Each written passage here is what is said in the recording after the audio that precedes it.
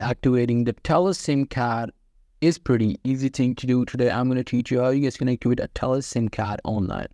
So in order to do that, you just simply have to insert the SIM into your phone and you have to make sure your phone is turned on you just have to you know activate your sim card by accompanying activation key. This is how uh, activation key looks. Whenever you buy a sim card this is the activation key. Whenever you will turn on your phone it will automatically ask for the activation key. You just have to put the activation key afterwards. You have to wait some times and your sim will be activated. So that's pretty much it. That's how you guys can do it hope you guys find this video helpful